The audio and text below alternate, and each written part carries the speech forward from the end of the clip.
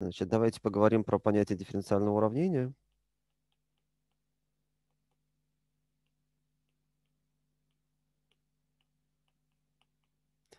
А, да, надо сразу сказать, что вообще теория дифференциальных уравнений э, состоит из двух таких больших отдельных частей. А, есть то, что называется обыкновенное дифференциальное уравнение, а есть то, что называется уравнение в частных производных. Дифференциальное уравнение частных производных. Но вот мы будем касаться только обыкновенных дифференциальных уравнений. Ну, так оно всегда бывает. Э, уравнение частных производных – это некоторая более сложная тема. Это, в общем, тема для отдельного курса. Вот, поэтому все, что, все, что называется дифференциальным уравнением у нас, это обыкновенное дифференциальное уравнение. А, вообще дифференциальные уравнения появляются тогда, когда у вас есть какие-то знания, связанные с тем, как а, какой-то процесс, а, там, который развивается с течением времени, у вас что-то меняется, меняется с течением времени, вы что-то знаете про какие-то скорости или какие-то ускорения или еще про что-то в этом роде. А, и, ну, давайте я приведу какие-нибудь примеры. А, ну, давайте я начну э, с каких-нибудь простых примеров, допустим. А, давайте.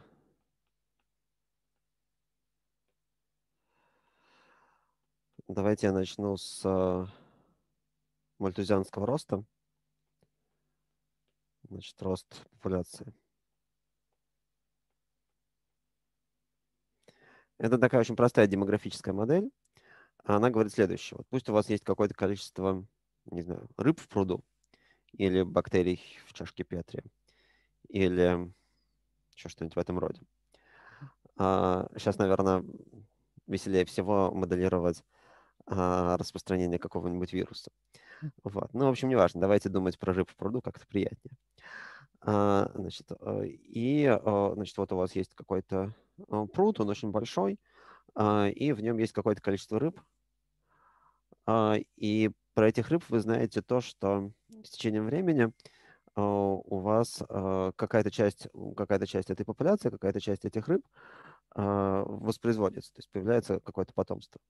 Ну и понятно, что поскольку у вас, а, грубо говоря, в единицу времени а, вероятность того, что у конкретной рыбы появится потомство, ну, примерно постоянно, а, ну, там, можно считать, что мы просто рассматриваем какие-то интервалы времени достаточно длинные, чтобы там рыбы успели вырасти, стать взрослыми и, опять же, иметь возможность давать потомство.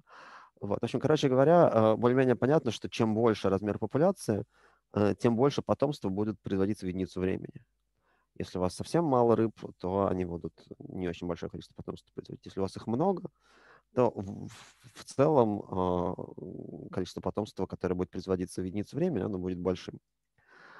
Вот, поэтому э, достаточно логично написать такое, э, такой, такой закон, такую зависимость, что э, значит, скорость роста А, значит, скорость роста пропорциональна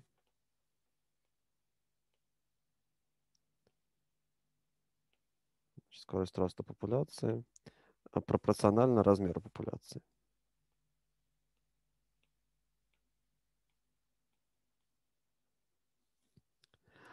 А, ну или, чтобы переформулировать это математически, давайте запишем какую-нибудь функцию, которая будет показывать нам размер популяции в данный момент времени. Значит, пусть у нас есть э, функция x от t. Это размер популяции.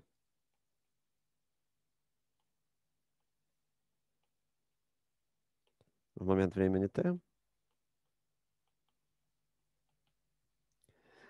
А, тогда что такое скорость роста?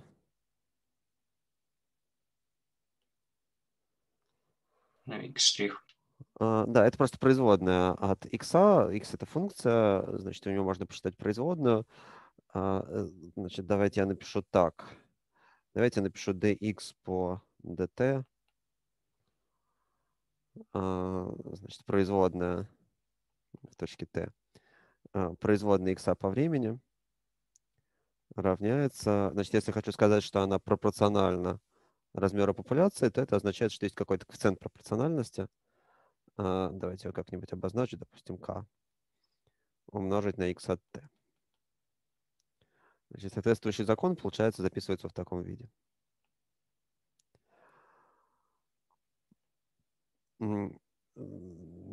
Смотрите, в этой науке принято производную по времени обозначать не штрихом, как мы привыкли обозначать производную, а точкой сверху. Значит, э, производная по t часто обозначается просто x точкой от t вместо штриха. Ну, как-то так повелось. Во всяких задачах механики, откуда все это возникло, почему-то вот такая традиция. Вот, и мы тоже будем ей исследовать. Мы будем обозначать производную по времени точкой, а производную по другим переменным уже штрихами. А, и еще, а, как правило, в таких, значит, в таких ситуациях вместо того, чтобы писать каждый раз, что у нас что-то зависит от времени, просто эту зависимость опускают. И поэтому короткий способ записывать то уравнение, которое я сейчас написал, он выглядит так. x точка равняется kx. А, и вот типичный пример такого дифференциального уравнения. Значит, смотрите, что является как бы неизвестной величиной в этом дифференциальном уравнении. Ну, неизвестной величиной является э, функция, функция x от t. Дифференциальное уравнение – это некоторое уравнение на функцию. И это уравнение, в котором участвуют, понятно, если чтобы оно было дифференциальным, там должна как-то участвовать какая-то производная. Но в данном случае у нас участвует производная x точка и производная x по времени. Вот. Э, соответственно, это пример дифференциального уравнения. Вас, в принципе, не должно пугать тот факт, что у нас возникло уравнение, в котором неизвестным объектом является функция. А, там это был долгий путь. Сначала, мы, сначала у нас неизвестными объектами были какие-то а, просто числовые переменные, потом на линейной алгебре обсуждали, что а, бывают уравнения относительно векторов, ну вот сейчас уравнение относительно функций. Уравнение может быть относительно более-менее любого математического объекта. Вот. Хорошо. Э, давайте. Значит, я пока написал, а, написал такое уравнение. Значит, мы его пока не будем решать. А, чуть, чуть попозже обсудим, как уравнения такого вида решаются. Вот, но просто я хочу, чтобы было понятно, а, что такое дифференциальное уравнение. Ну, давайте я еще какой-нибудь пример приведу.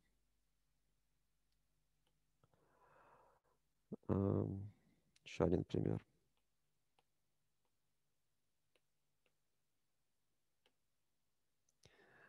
А, ну, давайте я приведу такой пример.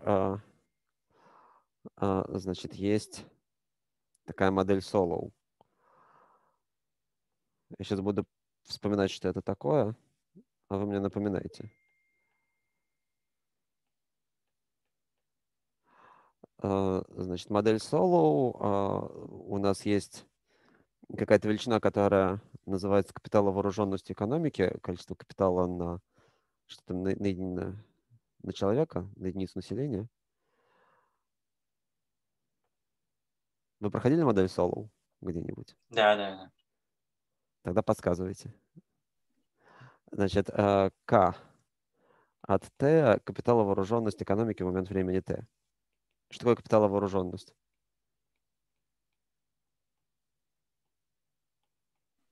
Ну, это К большое разделить на L большое.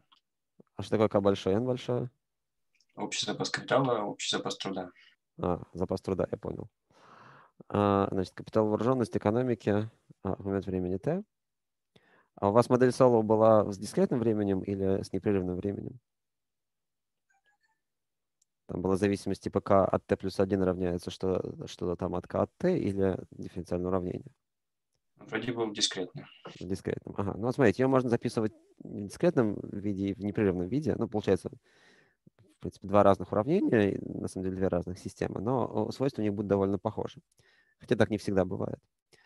Вот. А, значит, что мы говорим? Мы говорим, что у нас это самая капиталовооруженность, а, значит, ее скорость роста, а, от чего там она зависит? Значит, у вас есть какой-то ваш капитал, значит, вы его подставляете куда-то в функцию производства.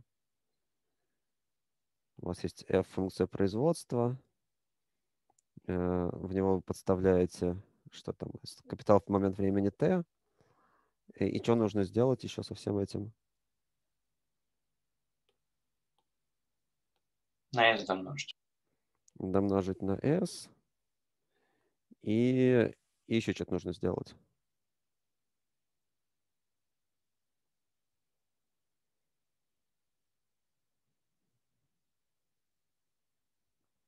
Значит, смотрите. Ну, а, Ну, там, там добавляется же минус дельта плюс n умножить на, ну, на k штрих по t.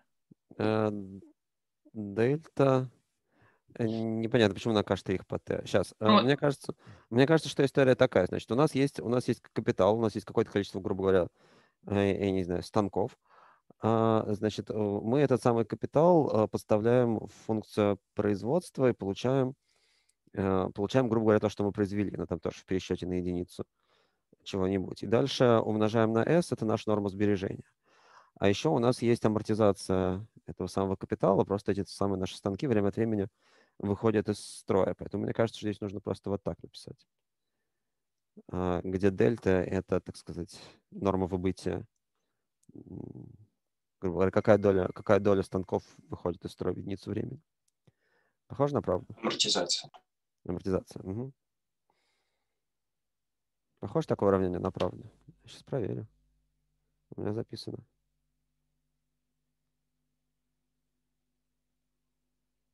Да, вроде, вроде так оно и есть, да. SF от К минус дельта К. А, Как, значит, э, знакомы ли похожие уравнения в дискретном случае?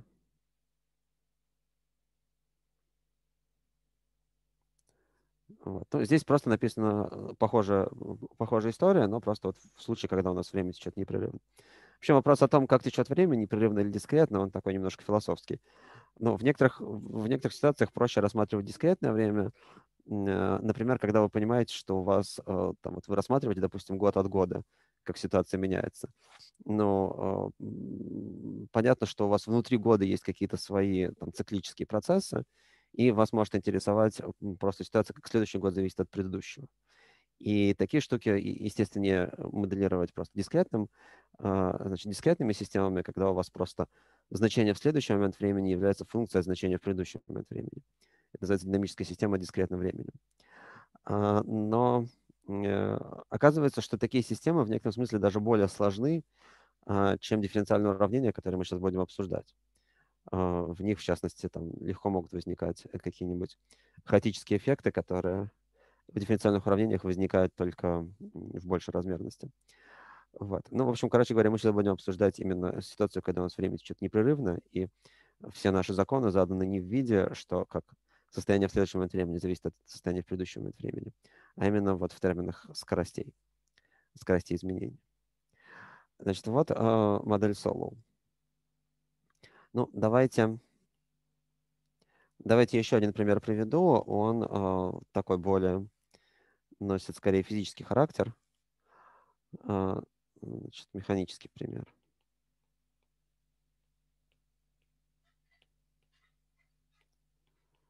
Давайте посмотрим, например, на падающий груз. Значит, вот представьте себе, что у меня есть такая простая история.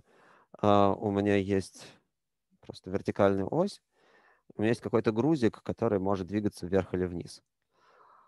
А,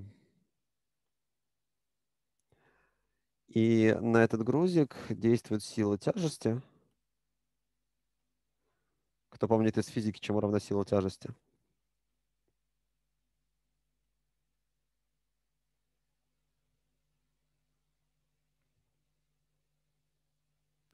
М на G.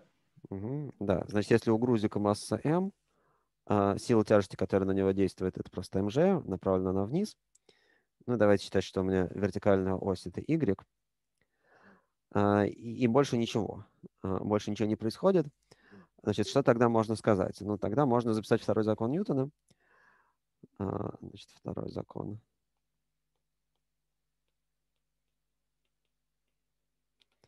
Он, он говорит, что F равняется ma, то есть э, сила, действующая на тело, равняется массе на ускорение. Сила у нас здесь есть единственная, это вот это самое наше mg. И поскольку сила направлена вниз, э, то давайте я буду записывать, что она минус mg на самом деле. Значит, минус mg равняется ma. И давайте посмотрим, кто такое вот это а. Значит, это ускорение. Поскольку я ввел вертикальную координату y, э, давайте записывать положение э, нашего тела в момент времени t через y от t. Значит, это высота, высота тела в момент времени t.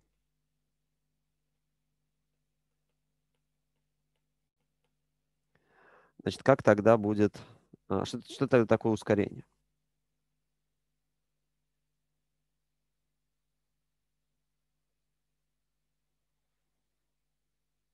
Что такое ускорение? Это вторая производная от перемещения. Да, ну, ускорение – это скорость изменения скорости, то есть это просто вторая производная от, так сказать, от координата, от положения. А, поэтому А – это штука, которая тоже зависит от T, и это просто Y с двумя точками от T. Вторая производная по времени. А, значит, таким образом мы получаем, что наш а, второй, второй закон Ньютона а, превращается в такое дифференциальное уравнение – значит, минус mg равняется m на y с двумя, э, на y с двумя точками. А, ну и на самом деле массу можно сократить, и остается просто y с двумя точками равняется минус g.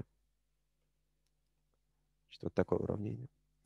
А, заметьте, что в этом уравнении фигурирует вторая производная. Такое тоже бывает. Значит, в дифференциальном уравнении может фигурировать производная не обязательно не обязательно первое.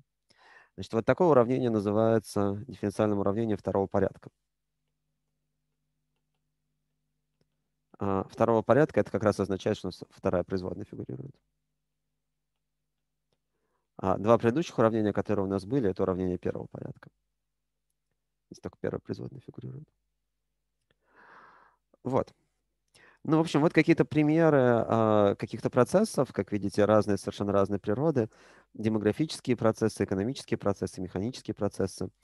Э, но они все так оказывается почему-то, э, что наши знания об этих процессах описываются в виде вот таких соотношений между какими-то скоростями, э, изменения чего-то э, и текущим состоянием системы.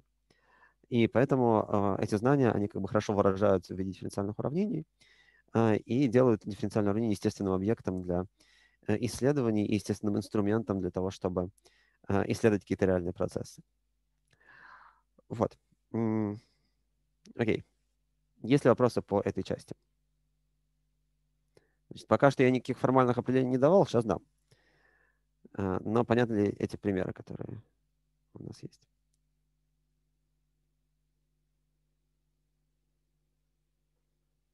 Примеры понятно, да. Отлично. Так, ну хорошо.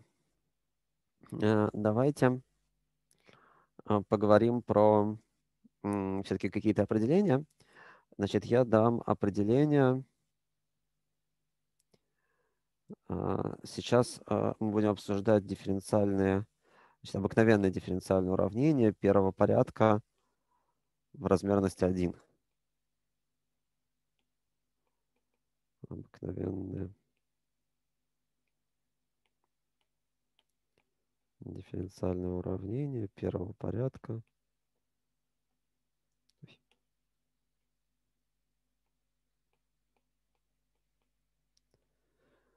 Э, в размерности 1.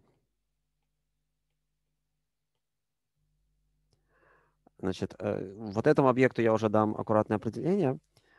А, значит, смотрите, что это такое. Это такая штука.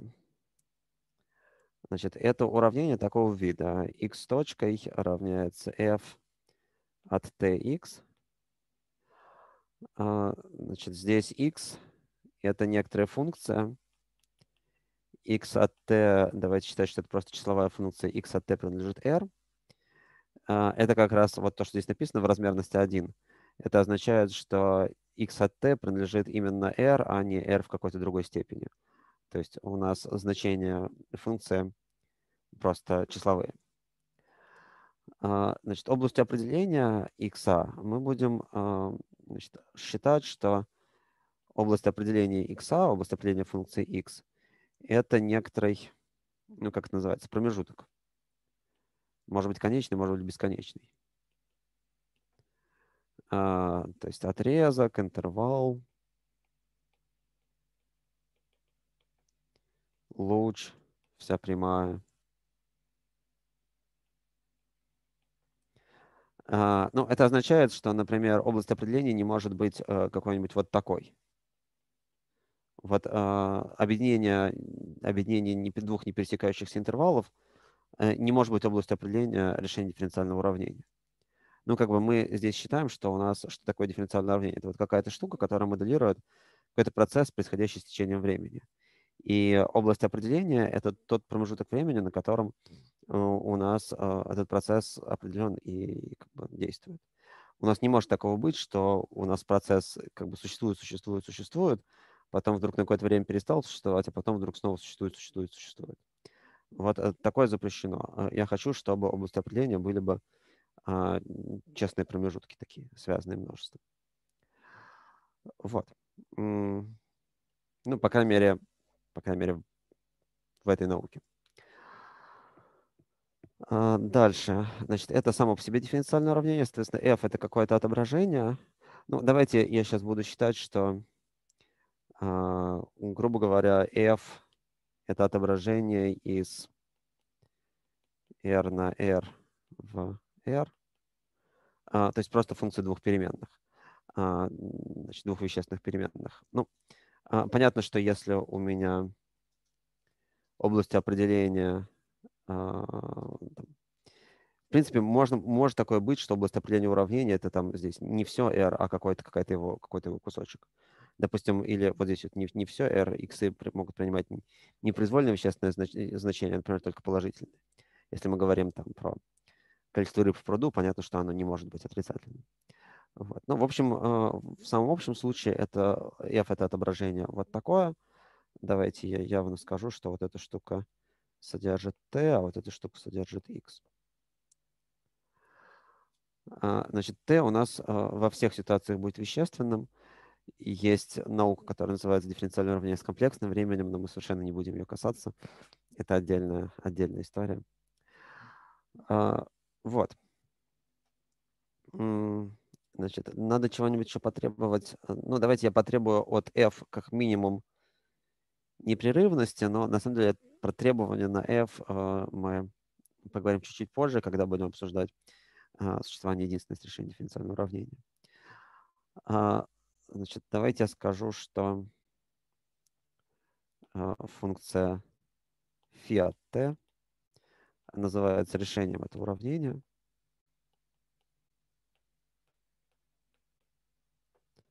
Значит, давайте я как-нибудь его обозначу. Это, допустим, уравнение 1. Значит, называется решением уравнения 1, если а, для всех t из области определения этой функции верно следующее. Ну, понятно, что верно. Если подставить эту функцию в наше уравнение, то получается верное равенство. Значит, должно быть фи с точкой от t равняется f от t Значит, и в правую часть мне тоже нужно вместо x подставить фиат t. То получается вот такая штука.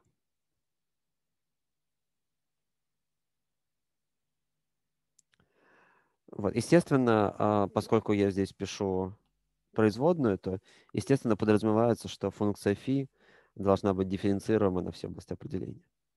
Иначе просто невозможно а, вот это равенство написать. Вот. Значит, вот формальное а, определение. Ну и давайте еще рассмотрим каких-нибудь примеров, теперь уже не а, таких не практических, а чисто математических. А, придумайте самое простое дифференциальное уравнение, какое бывает.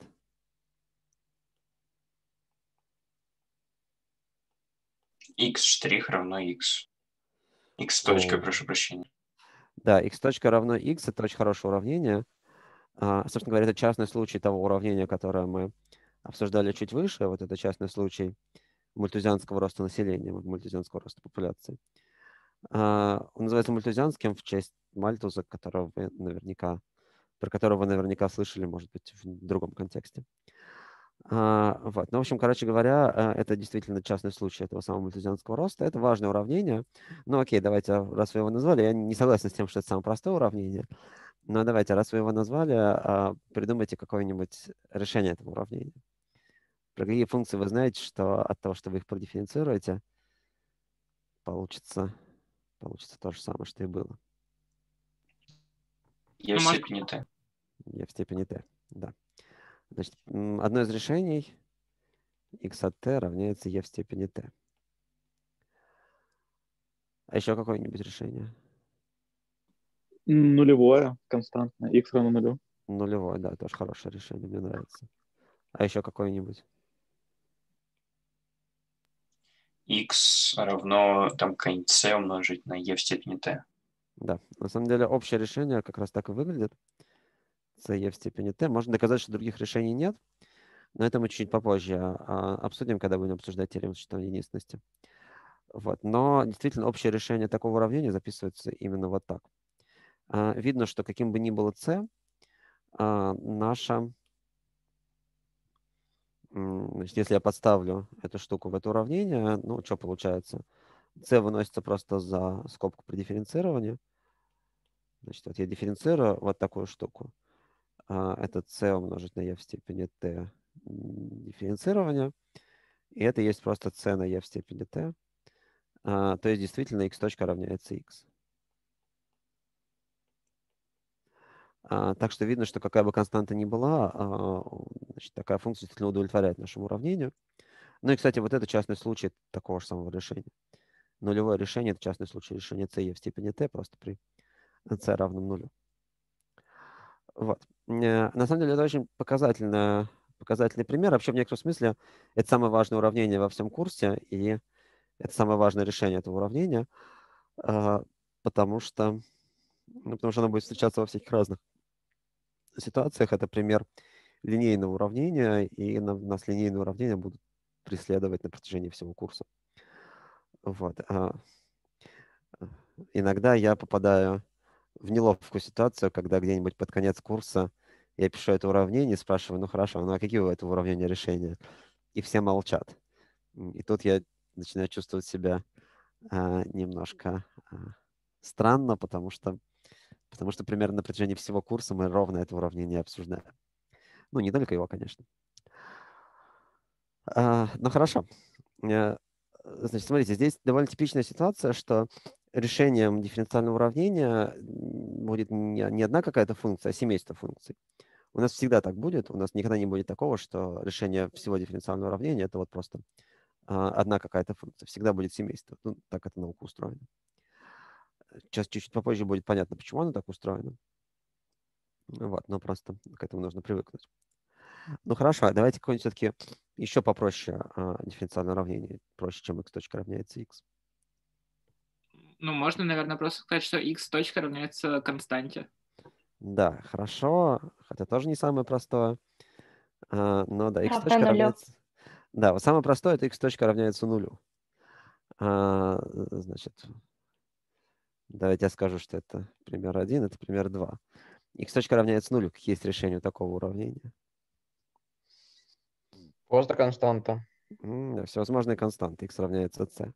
Опять же, видите, даже у такого простого уравнения а, решений бесконечно много. В зависимости от константы решения бывают разные. Ну и давайте действительно x точка равняется какой-то константе сделаем. да, как-нибудь x точка равняется a. А, значит, какие решения будут в этом случае? Не, не XA хочу а. плюс C. дава- давайте, давайте не а, а давайте v. А, потому что... Давайте v. Потому что а это ускорение. Значит, а, тогда а, тоже просто решается, но а, x, x точка равняется v, это означает, что вы двигаетесь с постоянной скоростью, то есть если у вас v константа. Движение с постоянной скоростью это просто vt плюс c.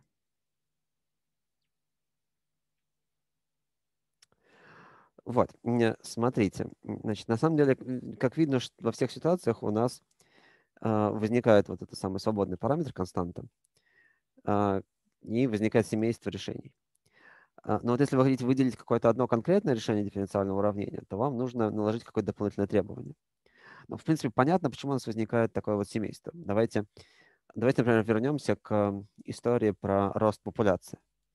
Значит, если вы знаете, что у вас есть вот этот самый закон, ну, давайте считать, что он ровно вот такой. а, что вы как- как-то эмпирически установили, что тот коэффициент пропорциональности, который там есть в исходной нашей модели, что он просто равен единице. Вот. а, Можете ли вы, просто глядя на это уравнение, сказать, какой размер популяции будет через а, 10 лет?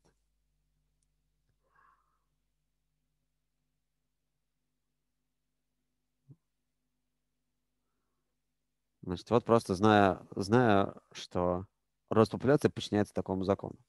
Достаточно ли вам информации, чтобы сказать, какой будет размер популяции через 10 лет?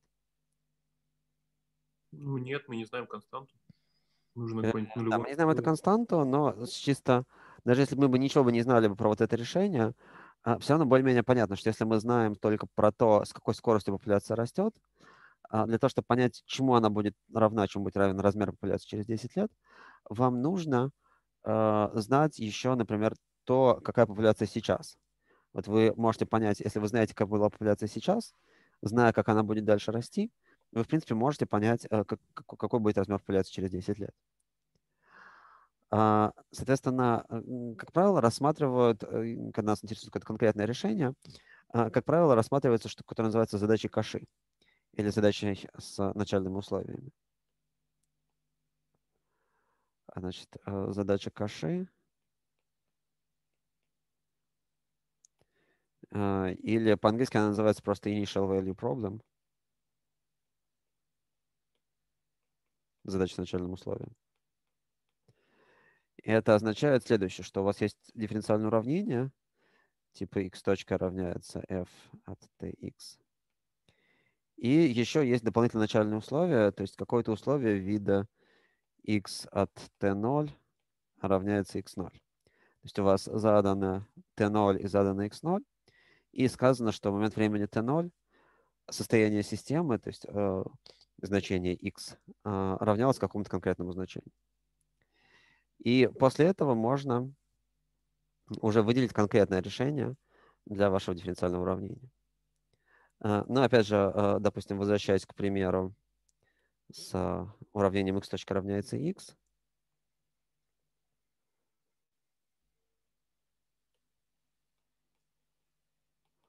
А, Значит, допустим, у меня есть уравнение x точка равняется x, и есть начальное условие, скажем, x в момент времени 0 равняется, э, скажем, 3.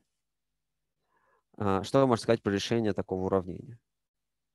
Так, точ- такой задачи каши. Значит, вот Три эта штука называется начальным условием. У нас будет c равно 3. А, Да, можно просто подставить. У нас есть вот это, вот это общее решение, и можно просто подставить в него начальное условие и посмотреть, что получается. Значит, у нас должно быть c на e в степени 0 должно равняться 3.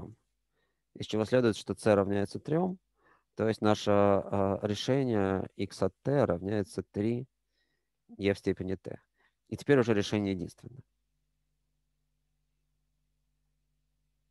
У нас уже не семейство решения, а просто одна конкретная функция.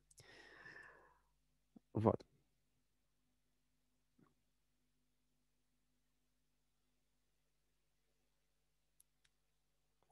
Хорошо. А, Давайте еще одну штуку скажу. Смотрите, значит, есть еще один, на самом деле, класс дифференциальных уравнений, которые а, можно легко решать. А, Вот такие уравнения. x точка равняется f от t. Значит, у нас общий вид э, дифференциального уравнения x точка равняется f от tx. То есть у нас в правую часть уравнения можно подставлять x. Но вот если не разрешить в правую часть подставлять x, то получается вот такое уравнение. И расскажите, как оно решается. Интегрированием обоих Мгм. частей. Да, а, значит, решением просто является неопределенный интеграл f от t dt. А, Или давайте, окей, давайте э, более точно скажем. Значит, пусть у нас есть э, какое-нибудь такое уравнение и какое-нибудь начальное условие. Скажем, x с точкой равняется f от t, и x в точке t0 равняется x0. Значит, как тогда записать решение такого уравнения?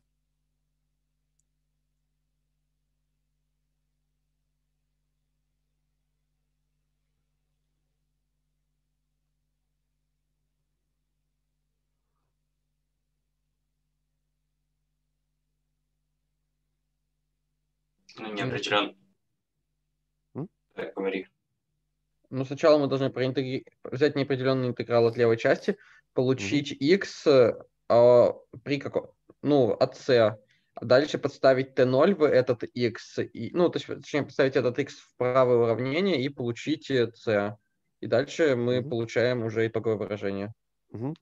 Да, я предлагаю записать решение в виде определенного интеграла с переменным верхним пределом. То есть это я предлагаю записать, я предлагаю сказать, что у нас x от t это есть какая-то такая штука, интеграл, э, значит, вот здесь вот что-то нужно написать, здесь нужно написать t, а, здесь будет, ну давайте я буду использовать какую-нибудь другую букву, f от tau d tau. А, Ну и может быть, и может быть еще что-то добавить. У нас обычно к неопределенному интегралу добавляется константа, но вот можем еще что-то добавить. Вот осталось заполнить два пропуска. X0. А, Значит, ну, так сказать, их нужно заполнять согласованным образом. а, Они друг от друга на самом деле зависят. Как? T0, dt и там x0. Да. Значит, вот у нас здесь есть t0, а здесь будет x0. А, Значит, давайте внимательно посмотрим на эту запись, и будет видно, что она действительно задает нам ровно то, что мы хотим. Значит, давайте посмотрим. А, x момент времени t0 а, равняется чему? Равняется интегралу от t0 до t0. f от tau до tau это просто 0. А, И плюс x0. То есть действительно получается, что наше начальное условие выполняется. А, Ну а с другой стороны, понятно, что добавление константы ничего не меняет. А вот эта штука при э, дифференцировании по верхнему пределу дает нам как раз подинтегральную функцию. И мы как раз получаем, что x с точкой от t равняется f от t. Формула Ньютона-Лейбница, все дела.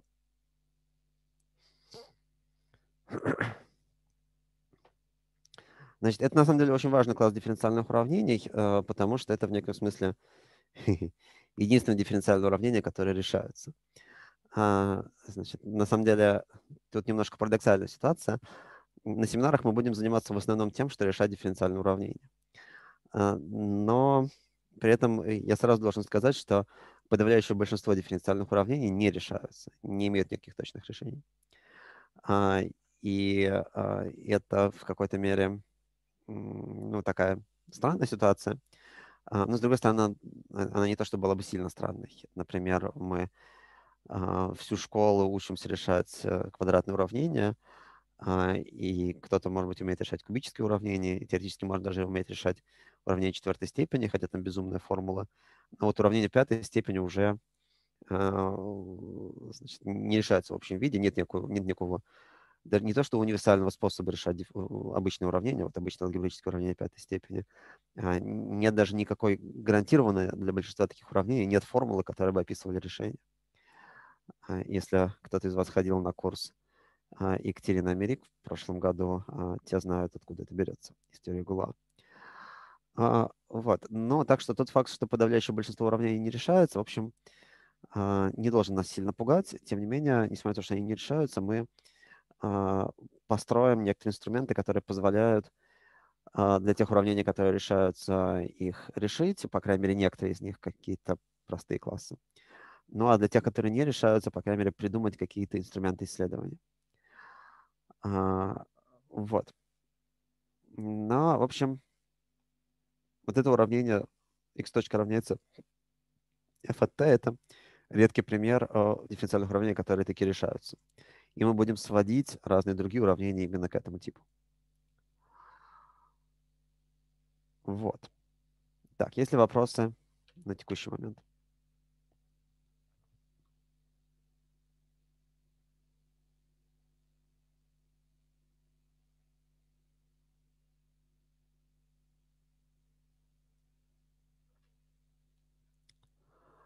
Окей. Давайте построим несколько картинок и поговорим про значит, некоторые геометрические построения, геометрические объекты.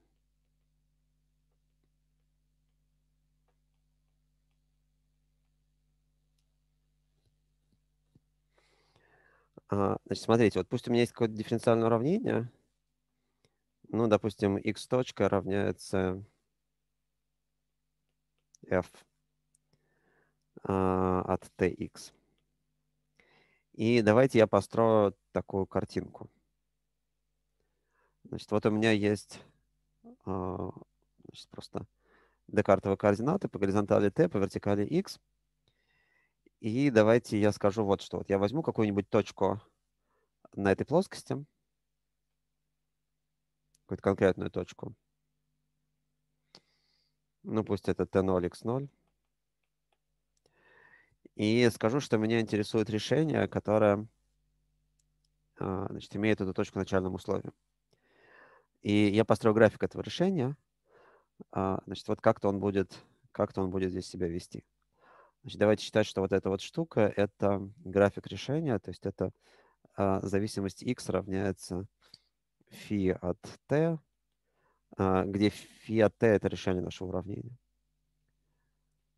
Значит, фи от t решение. Ну, давайте считать, что с начальным условием фи в точке t0 равняется x0. А, вопрос. А что вы можете сказать про касательно к этому самому графику в точке, в точке t0 x0?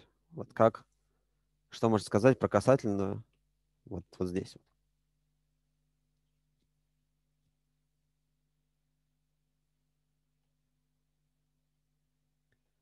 Значит, это касательно к графику решения. Но это, это и будет f. А, да, но f это функция, так что еще нужно в правильной точке посчитать. А, значит, ну, сейчас, во-первых, сам по себе касательно это просто прямая линия, а, но мы знаем, что эта прямая линия, она задается уравнением, ну, в данном случае она будет задаваться уравнением а, x равняется kt плюс, какой- плюс какая-то константа. А, ну, давайте плюс b. Значит, и k угловой коэффициент.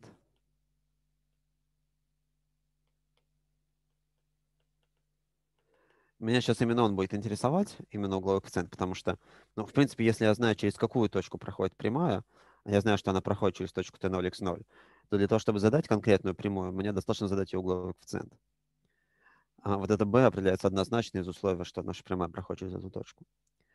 А, вопрос, как найти этот угловой коэффициент? Угловой коэффициент касательный в, а, значит, к графику решения вот в этой точке, в точке t0, x0.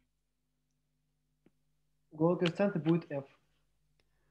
А, f это функция, в какой точке нужно ее посчитать? В t0, x0. f в точке t0, x0. Да, э, совершенно верно. Почему так? Ну, потому что угловой коэффициент это касательное, э, угловой коэффициент касательный это производная от нашей функции. То есть это f с точкой в момент времени t0. И мы знаем, что это самая фи с точкой равняется f, в которой подставили t0, и фи от t0, но фи от t0 по условию равняется x0. Поэтому вот такое условие должно выполняться.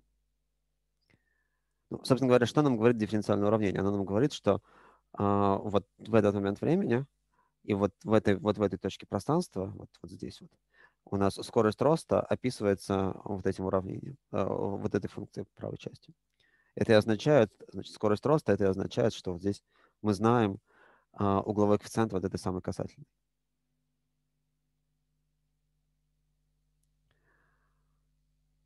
Ага. Как? а, Понятна эта идея?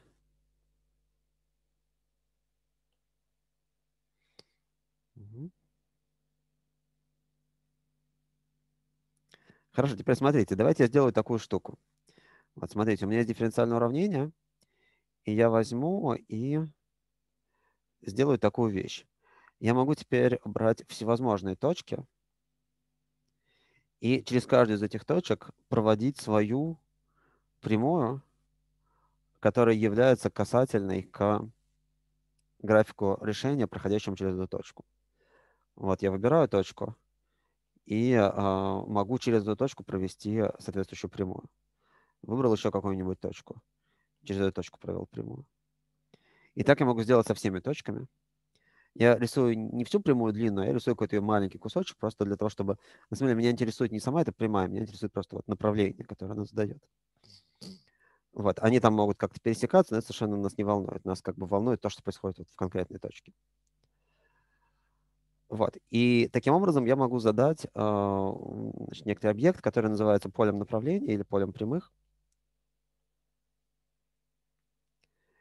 Э, и теперь смотрите, пусть я задал такое поле прямых, э, вот пусть я в каждой точке нарисовал по соответствующей, по соответствующей прямой. А потом я взял и нарисовал э, какой-то график решения. Что можете сказать про связь этого графика решения с этим полем прямых?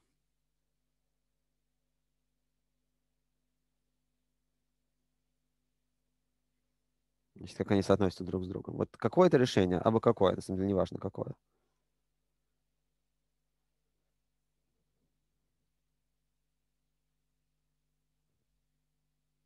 Значит, может ли мое решение, например, проходить вот так? Может ли оно быть вот таким? Ну, так оно проходить не может, но эти все линии, они приближают решение. Да, на самом деле условие такое. Мы, мы же знаем, что у нас, если есть какое-то решение, которое проходит, например, через вот эту точку, а, то это означает, что производная этого решения в этой точке должна а, равняться просто угловому коэффициенту вот этой прямой.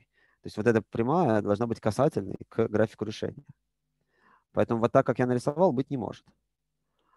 А, может быть только так, чтобы у меня все решения в каждой своей точке касались бы а, соответствующей, э, соответствующей прямой, которая проведена через эту точку. Вот у меня на каждой прямой отмечено, через какую точку она проведена. И, соответственно, когда я рисую э, график решения, он в каждой своей точке, а, вот я, допустим, беру вот эту точку, здесь у меня была проведена какая-то прямая, и она обязана коснуться а, моего решения. И так в каждой точке. Ну, тут, может быть, не очень просто себе представить вот это поле, поле направления, поле прямых. Но вот нужно представить себе такой, а, такую штуку, когда у вас есть как бы в каждой точке, в каждой точке нарисовано по такой маленькой, маленькой прямой. Я не знаю, вы когда-нибудь делали эксперимент с э, опилками магнитом? Было что-нибудь такое на физике? Да, конечно, мне кажется, в каждой школе такое есть.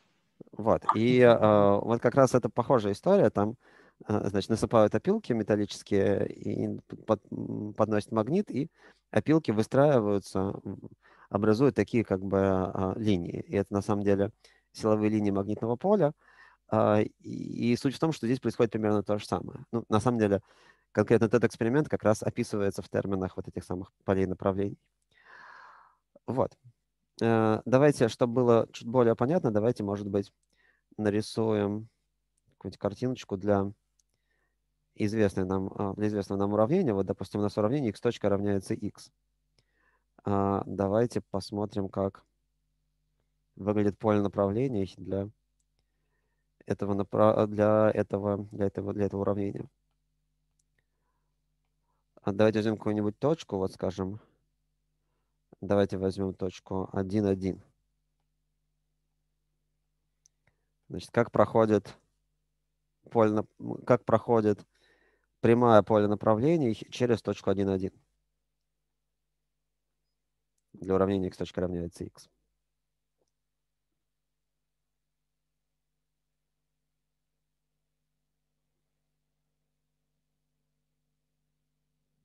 Значит, что это за прямая такая? С наклоном Е. А, нет, не Е. А, смотрите, смотрите, можете забыть, можете забыть про решение. Вот а, главный пафос состоит в том, что для того, чтобы нарисовать поле направлений, вам ничего не нужно знать про решение. Вам нужно знать, как у вас устроена правая часть, вы это знаете. Больше вам ничего не нужно знать.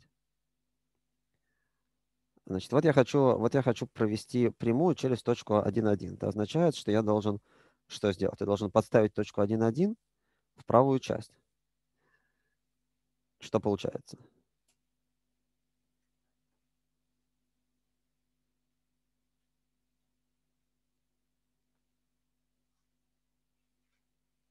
Значит, у нас правая часть, в этом случае f от t равняется x. Не зависит от времени. А, Я подставляю туда точку 1,1. Что получается? Ну, один. 1, да. То есть получается прямая с а, угловым коэффициентом 1. Вот такая вот штука. Ну, давайте возьмем точку повыше, допустим, вот точку 1,2. Вот тут вот. Какая, как, какой здесь получается угловой коэффициент? Два. 2, логично. А, ну, значит, в 3 будет угловой коэффициент 3. Это вот такая вот штука. Ну, давайте в нуле. Вот здесь вот какая будет, какой будет угловой коэффициент?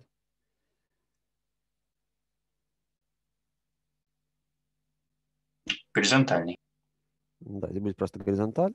Кстати, вот если я продолжу, если я продолжу вот эти прямые, вот, вот сюда вот, а, что будет с ними происходить, как вы думаете? Они все пересекутся в нуле? Мгм, да, они все будут пересекаться в нуле, а вот так вот они будут себя вести.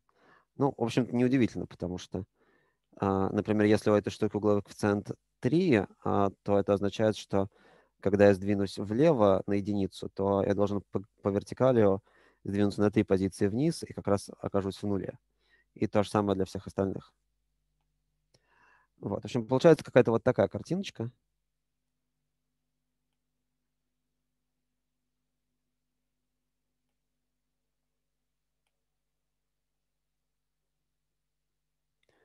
Ну хорошо, а теперь если я возьму не точку 1 по горизонтали, а какую-нибудь другую точку, например, вот я возьму точку 2, что там будет происходить? Все то же самое вроде бы. Э, Абсолютно все то же самое, потому что у нас уравнение вообще не зависит от t. а правая часть зависит, а, то есть правая часть уравнения, она явно от t не зависит. А, Значит, означает, что если я поставляю точку вот такую, где x равен 2, а t равняется 2, это то же самое, что поставить точку вот такую. Поэтому можно просто всю вот эту картинку, которую я сейчас нарисовал, просто так аккуратненько перенести параллельно. Будет вот такая штука. Не, не очень-то параллельно. А, значит, и здесь то же самое будет. Значит, какие-то вот такие вот штуки.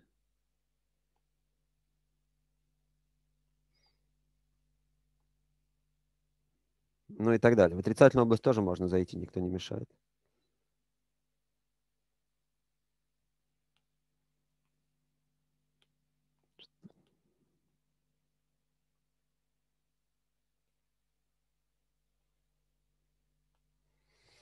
Значит, как-то так это все будет выглядеть. И смотрите теперь, если я буду рисовать решения, а, они будут вести себя, ну вот видно на самом деле уже теперь, если посмотреть на этот график, вот на эту картинку повнимательнее, а, то видно, что если я буду пытаться а, провести решение, то есть провести, а, значит, нарисовать график решения, который будет касаться вот этих вот моих линий, которые у меня здесь получаются, то он будет вести себя, ну вот как-то, ну вот как-то вот так вот, да. Он тоже в каждой своей точке должен касаться вот этих моих прямых из а, поля направлений. Нет, так как, кстати, не очень реалистично нарисовал. А, нет, нормально, кстати, здесь. Здесь он вот такой, тут где-то он должен достигнуть числа 3. В общем, как-то так он должен вести себя. Вот. Э, И понятно, что мы можем провести разные такие кривые, мы можем просто стартовать с разной точки. Ну, вот провести вот такую вот какую-то прямую, а, точнее кривую, провести какую-нибудь вот такую вот кривую. Если я стартую из нуля, то что получается? Как- выглядит график решения?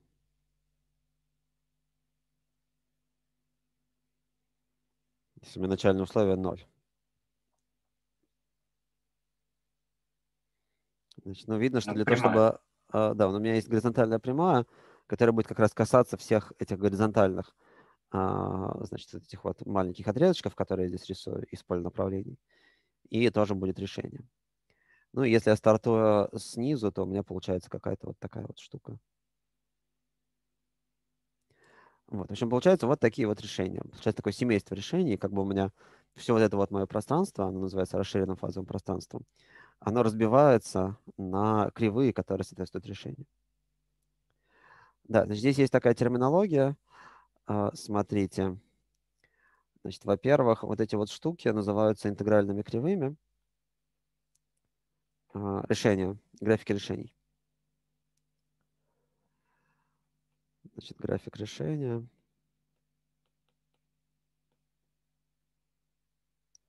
Это интегральная кривая.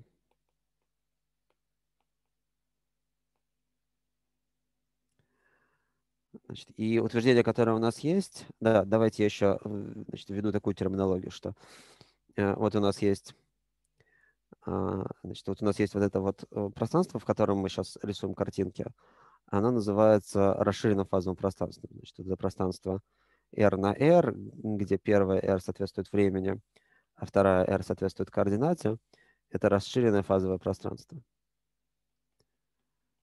А, значит, оно расширенное, потому что Просто фазовое пространство – это вот эта штука. Это то, где меняется состояние системы. А, вот просто точки фазового пространства – это точки, которые описывают состояние системы в фиксированный момент времени. Когда мы домножаем это на, а, значит, на ось времени, получается расширенное фазовое пространство. Вот интегральные кривые, они живут в расширенном фазовом пространстве. И утверждение, которое мы делаем, это то, что интегральные кривые в каждой своей точке.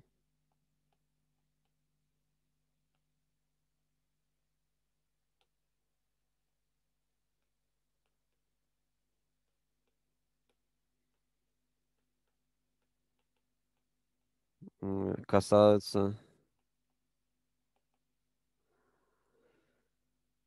а, значит, прямой, касаются прямых, проходящих через, я бы даже сказал, проведенных через э, соответствующую точку.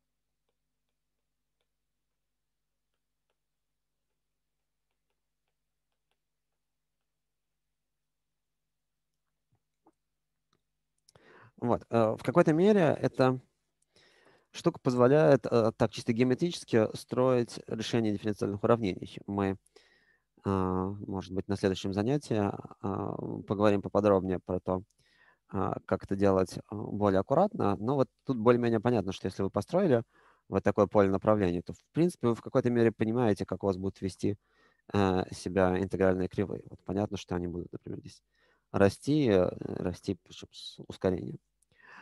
А, вот. Но есть более аккуратные компьютерные методы, которые позволяют находить решения а, произвольных дифференциальных, дифференциальных уравнений численно. А, и значит, с помощью них на самом деле можно решать конкретные дифференциальные уравнения, и сейчас этим люди активно занимаются, а, значит, строят всякие математические модели на эту тему. Вот. Значит, есть ли какие-нибудь вопросы на эту тему? Значит, вот по поводу того, что мы сейчас обсудили.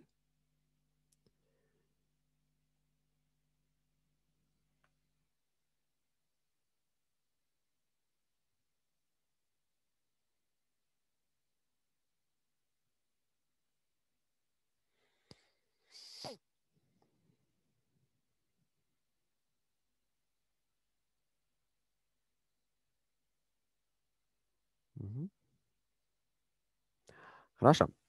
А, так, смотрите, если вопросов нет, то давайте я тогда расскажу еще одну историю, как раз вот то, то о чем я сейчас начинал говорить.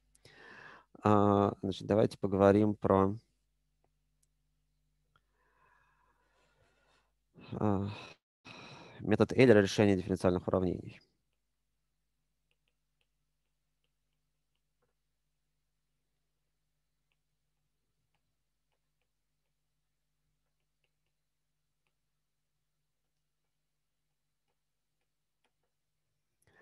Значит, давайте представим себе, что у нас есть э, задача каши. Вот у нас есть уравнение x точка равняется f от tx. И а, я хочу найти а, его решение с начальным условием а, x в нуле, а, x в точке t0 равняется x0. И я могу действовать таким образом. Вот смотрите. Значит, я знаю, что у меня в точке... Значит, вот у меня есть а, точка t0, а здесь есть точка x0. Значит, я знаю, что а, вот в этой точке у меня была мгновенная скорость движения, задаваемая правой частью нашего уравнения. А, значит, то есть я могу просто взять, построить здесь а, соответствующую касательную. А, это касательно будет, с углов... это будет касательно с угловым коэффициентом k равным f от t0 x0. Я знаю, что мое настоящее решение будет проходить как-то, ну, там будет касаться этой, этой, этой, этой прямой, то есть проходить как-то близко к ней. Ну, я ее так нарисовал. Не совсем близко, но, по крайней мере, она будет касаться. А, что это означает? Это означает, что если я хочу посмотреть, где я окажусь через какой-то небольшой промежуток времени, ну, давайте считать, что у меня был, был t0, а я возьму и сдвинусь в точку t0 плюс дельта t, где дельта t это какое-то конкретное число маленькое. А, тогда я могу сказать, что ну, с какой-то с какой-то погрешностью э, я не знаю, где точно я буду находиться. То есть я не знаю вот эту точку. Но я знаю, что если у меня этот промежуток времени маленький, то, скорее всего, скорость, а, правая часть, менялась не сильно, и, скорее всего, моя э, кривая будет достаточно хорошо приближаться вот этой самой касательной. И поэтому вместо того, чтобы брать а, значит, вместо того, чтобы найти вот эту точку, которая меня на самом деле интересует, я возьму другую точку, а именно точку на касательной, вот эту точку. Давайте посмотрим, как ее найти. А, значит, я хочу взять, а, значит, я хочу обозначить в качестве x1 вот, вот эту точку. Это как бы, если бы я двигался с постоянной скоростью на протяжении всего вот этого промежутка, если бы я двигался с постоянной скоростью, равной а, моей мгновенной скорости в момент времени t0, куда бы я попал? Ну, нетрудно а, понять. Значит, давайте так. x1 равняется чему? Значит, я был в, в точке x0, и дальше я из точки x0 сдвинулся, и а, далеко ли я ушел?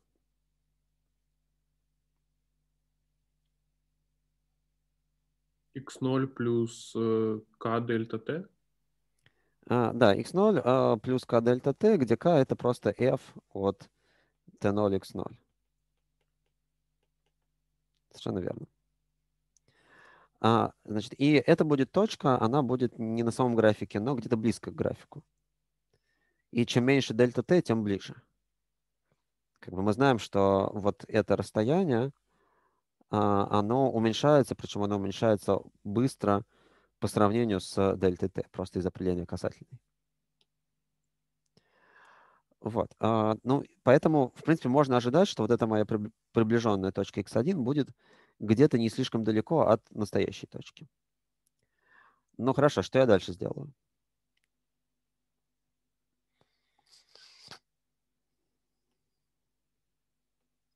Что можно сделать следующим шагом? Посчитать k в x1, ну, в новой mm-hmm. точке. Да, давайте мы теперь через эту новую точку проведем новую э, касательную. И теперь эту самую новую касательную будем использовать для того, чтобы аппроксимировать наше решение. То есть, иными словами, мы говорили так, что ну хорошо, вот мы считали, что вот на этом промежутке времени мы двигались с постоянной скоростью, равной вот здесь. Но тут промежуток времени закончился, и пора бы все-таки посмотреть, а с какой же скоростью мы теперь-то двигаемся. А, в этот момент мы а, значит, строим новую касательную, рассматриваем новую мгновенную скорость, и дальше берем, рассматриваем следующий промежуток времени.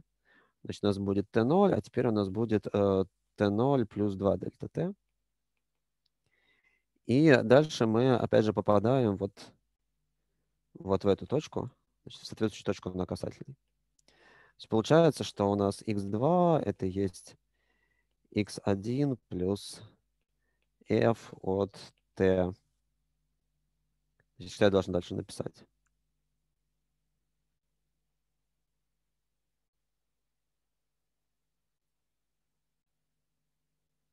Значит, мне теперь нужно подставить в f э, мою новую точку, в которую я попал. И эта точка, э, значит, t... Давайте я как-нибудь их буду обозначать, вот эти а, э, t0 плюс дельта t, t0 плюс 2 дельта t. Давайте я их буду обозначать, пусть вот эта штука называется t1, вот эта штука называется t2. Значит, тогда здесь можно будет написать, что x2 это есть x1 плюс f от uh, t1, запятая x1 умножить на дельту t. Значит, давайте я скажу, что у меня есть tk, t, который есть t0. А, давайте не k, а я k уже использовал. Uh, t и t, uh, где, значит, который равняется t0 плюс i умножить на дельту t. Uh, и так далее. И так я могу дальше строить а, значит, мои а, решения, а, ну, точнее, приближенные решения. Значит, таким образом, у меня каждая, в каждый следующий момент времени x жит плюс первое, это есть x житое плюс f от t житое, x житое умножить на дельту t. И так далее. Вот, соответственно, получается такая ломаная на картинке. Ну, точнее, на, на картинке получается просто последовательность точек. А, но а, там ее логично, эти точки просто соединить отрезками прямых. И получается такая ломаная, которая, конечно, будет отклоняться от нашего графика. Мы на каждом... Как-то вот так будет выглядеть. Вот, мы а, на каждом... А, каждый раз мы а, добавляем какую-то ошибку, эта ошибка на самом деле накапливается, она приводит к тому, что мы начинаем считать скорости не в тех точках, в которых должны были бы считать. Э, вот, поэтому, в общем, э, никто не обещает, что наш график будет точным, точно соответствовать настоящему графику решений. Но что мы знаем, это то, что когда мы будем уменьшать дельту t, а, у нас а, точечки будут э, приближаться к настоящему графику. Есть если я зафиксировал какой-то конкретный промежуток времени, а, скажем, вот отсюда до сюда, то у меня есть t0, а здесь есть t большое. Я могу гарантировать, и это на самом деле можно даже доказать аккуратно, я могу гарантировать, что, а, там, по крайней мере, при некоторых ограничениях на правую часть, там от правой части нужно потребовать, ну, как минимум, непрерывности. А, значит, при некоторых ограничениях на правую часть можно гарантировать, что вот эта моя ломаная, которая будет построена по вот такому закону, будет приближаться на этом участке, будет приближаться к настоящему графику. То есть выбирая достаточно маленький шаг, выбирая достаточно маленькую дельту t, я могу приближать мои решения э, как угодно точно. Поэтому, в принципе, если у меня есть мощный компьютер, я могу сказать этому компьютеру, чтобы он бы взял бы очень-очень маленький шаг, двигался с очень-очень маленьким, а, маленькими шажками и таким образом а, получить э, приближенное, но достаточно точное решение для любого дифференциального уравнения. И это на самом деле то, как примерно то, как э, люди изучают дифференциальное уравнение, сложное дифференциальное уравнение. Э, на практике, ну там, я не знаю, если вам нужно, э, я не знаю, погоду моделировать или еще что-нибудь в этом роде делать, э, или еще какой-то сложный процесс моделировать, вот у вас есть конкретная система, и вы хотите понять, вот, что у вас там будет через 10 лет с этой системой или через 10 секунд. Вы э, используете компьютер для того, чтобы а, значит, предсказывать эти самые решения. Вот. Но э, в какой-то мере можно было бы сказать, ну а чего? Э, раз у нас есть такой замечательный универсальный метод решения любого дифференциального уравнения с помощью компьютера, а компьютеры уже изобрели, э, то, в общем, может быть, курс на этом можно и заканчивать. Значит, вот все, знаем, как решается. Вот. Но на самом деле нет, не стоит заканчивать курс на первой лекции. Потому что мы, конечно, можем а, посчитать приближенное решение конкретного дифференциального уравнения, точнее даже конкретной, я бы сказал, конкретной задачи каши. То есть вы, можете найти одно конкретное решение. Но если вас интересуют какие-то общие свойства, и если вас интересует, например, что будет происходить с решением, когда время будет стремиться к бесконечности, или вас интересует, какие в принципе типы динамики могут существовать, или вас интересует, допустим, а, какие решения, вот у вас есть какая-то конкретная система, вас интересует, какие решения там могут быть, а каких решений там не может быть. А, в общем, для того, чтобы отвечать на такие качественные вопросы, а, которые не сводятся к тому, что вот нам компьютер дал какое-то приближенное решение, и мы пытаемся его как-то проинтерпретировать. Чтобы отвечать на такие качественные вопросы, а, нужно знать, а, нужно знать теорию. То есть если вы хотите чего-то большего, чем какое-то одно приближенное решение или даже десяток приближенных решений, если вы хотите уметь отвечать на какие-то общие вопросы про ваши проценты, то тут нужно знать все, что мы будем проходить по дифференциальному уравнению и, может быть, даже больше. Вот. Но, тем не менее, всякие компьютерные истории, связанные с дифференциальными уравнениями, я очень люблю, потому что мне кажется, что это просто какое-то чудо, что мы можем, я не знаю, написать несколько строчек кода и там, промоделировать, э, ну, я не знаю, то, чем я увлекался в школьные, в школьные годы, было моделирование поведения спутника. Значит, если вы запускаете какой-то спутник, у вас есть несколько планет, и вот вы смотрите, как он там летает. Ну вот у нас будет в какой-то момент в какой-то домашке похожая задача. Вот. Мне кажется, что это фантастика, что можно написать несколько строчек кода, и действительно оно будет показывать вам, как летает спутник. И он действительно так летает. А, вот. Ну и всякие разные другие системы тоже можно изучать а, таким образом с помощью компьютера. Вот, так что у нас будут, будут какие-то задачки про то, что нужно будет что-то посчитать на компьютере. Мне кажется, это важный навык. Но и много всяких более а, теоретических задач, которые решаются с помощью ручки и бумажки тоже будут. Вот. Значит, есть ли еще какие-нибудь вопросы?